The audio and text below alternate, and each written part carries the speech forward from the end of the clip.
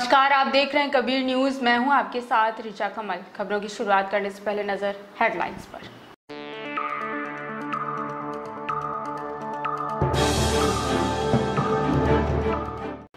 AIIMS में भर्ती जेटली की हालत नाजुक। राष्ट्रपति समेत बीजेपी के दिग्गज नेता पहुँचे मिलने। एचबीटीयू के एक छात्र ने इमारत बनाने वाली बनाई पारदर्शी कंक्रीट। हमीरपुर ज़िले की बेतवा नदी तथा यमुना नदी का जलस्तर बढ़ने से लोग भयभीत।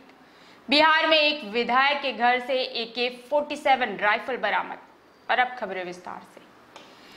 बीजेपी के वरिष्ठ नेता तथा पूर्व केंद्रीय वित्त मंत्री अरुण जेटली लंबे समय से बीमार चल रहे हैं। 9 अगस्त को उन्हें एम्स में भर्ती कराया गया था। विशेषज्ञ डॉक्टरों की टीम उनके उपचार पर नज़र रख रही है।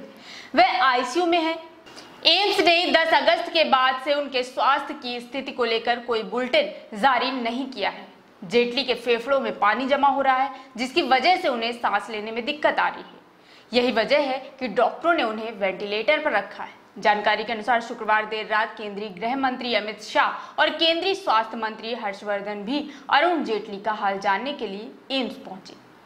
शाह एक घंटे से अधिक समय तक एम्स में मौजूद रहे। इससे पहले शुक्रवार सुबह राष्ट्रपति रामनाथ कोविंद तो शाम को उत्तर प्रदेश के मुख्यमंत्री योगी आदित्यनाथ भी अरुण जेटली से मिलने एम्स पहुँचे थे।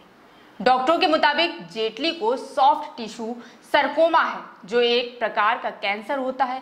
जेटली पहले से डायबिटीज़ के मरीज़ हैं। उनका किडनी ट्रांसप्लांट हो चुका है। सॉफ्ट टिश्यू कैंसर की भी बीमारी का पता चलने के बाद वह इलाज के लिए अमेरिका भी गए थे। उन्होंने मोटापे से छुटकारा पाने के लिए बैरिएट्रिक सर्जरी भी करा रखी है।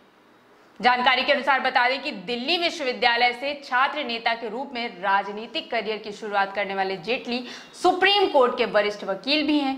मोदी सरकार के पहले कार्यकाल में वित्त मंत्रालय संभालने वाले जेटली स्वास्थ्य कारणों से मोदी सरकार में शामिल नहीं हुए। जेटली, अटल बिहारी वाजपेयी सरकार में भी केंद्रीय मंत्री रह चुके हैं। आपने कहावत तो सुनी होगी कि अगर किसी भी काम को करने की ठान लो तो वह ज़रूर पूरा होता है। फिर उसमें चाहे कितनी भी रुकावट क्यों ना आए। इस कहावत को सच कर दिखाया है कानपुर के एक छात्र ने। इस छात्र ने लोहा और प्लास्टिक फाइबर के टुकड़ों से पारदर्शी कंक्रीट विकसित की है, जिससे बनने वाली इमारतों में सूर्य की किरणें दीवारों से छनकर अंदर आ सकेंगी। इसका इजाद कानपुर के हाईकोर्ट बटलर टेक्निकल यूनिवर्सिटी के एमटेक कोर्स के सिविल इंजीनियरिंग के छात्र रामांश वाजपेयी ने किया है।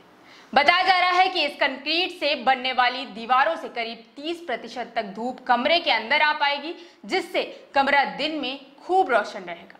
हालाँकि इन दीवारों से होकर मात्र रोशनी ही अंदर आएगी, सूर्य की रोशनी से उत्पन्न गर्मी नहीं, और इस कंक्रीट के प्रयोग से करीब 30 प्रतिशत तक बिजली भी बचेगी। रामांश का कहना है कि इस कंक्रीट से बनी दीवारों से सिर्फ़ सूर्य की रोशनी अंदर आएगी, हवा और पानी अंदर नहीं आएगा, जिससे कमरे में सीड़न और लीकेज की समस्या नहीं होगी। शोध में रामांश का मार्गदर्शन करने वाले दीपक कुमार सिंह ने कहा कि ये कंक्रीट अन्य साधारण कंक्रीट से 23 प्रतिशत अधिक मज़बूत है। इसकी कीमत साधारण कंक्रीट की कीमत का मात्र 33 प्रतिशत है और सिर्फ़ प्लास्टर ऑफ़ पेरिस के साथ इसका प्रयोग किया जा सकता है। पारदर्शी कंक्रीट से बनाई गई दीवार में मात्र उन्नीस रुपए की लागत आएगी, जबकि साधारण कंक्रीट से वैसी ही दीवार बनाने में पाँच रुपए का खर्च आता है।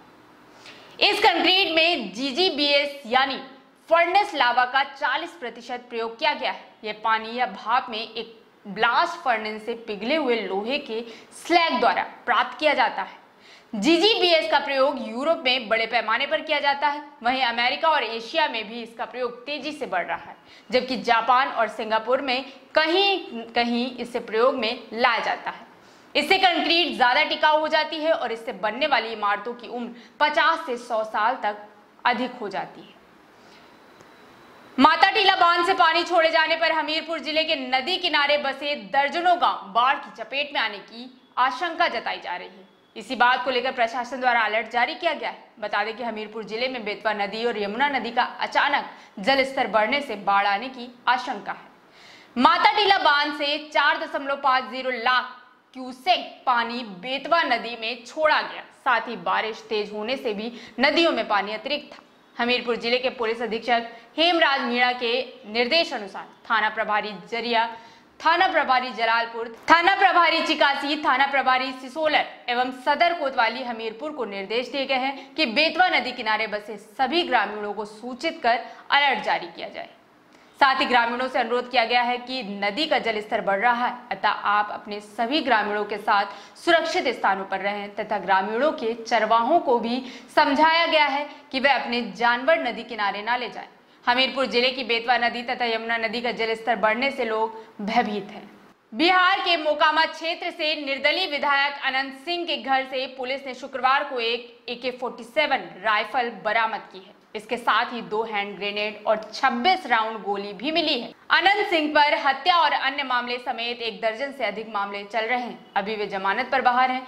पुलिस को सूचना मिली थी कि विधायक के घर और उनके दूसरे ठिकानों से हथियारों का मूवमेंट किया जा रहा है। पुलिस ने बताया कि ए के फोर्टी सेवन को कार्बन से कवर किया गया था ताकि वह मेटल डिटेक्टर की जाँच में ना आ सके। विधायक अनंत सिंह के ऊपर इस मामले के लिए एफआईआर दर्ज किया गया नीतीश के करीबी रहे थे बाहुबली अनंत सिंह। मोकामा से निर्दलीय विधायक अनंत सिंह की गिनती बिहार के बाहुबली नेताओं में होती है। अनंत कभी नीतीश के करीबी हुआ करते थे। वे 2005 में पहली बार जदयू के टिकट से चुनाव जीते। 2010 में भी वह जदयू के विधायक बने। 2015 के चुनाव से पहले हत्या के एक मामले में जेल जाना पड़ा। इस दौरान जदयू ने उन्हें पार्टी से निलंबित कर दिया। जेल से ही अनंत सिंह ने चुनाव लड़ा और निर्दलीय विधायक बने। खबरों में अभी के लिए फ़िलहाल बस इतना ही। बने रहे कबीर न्यूज़ के साथ। नमस्कार।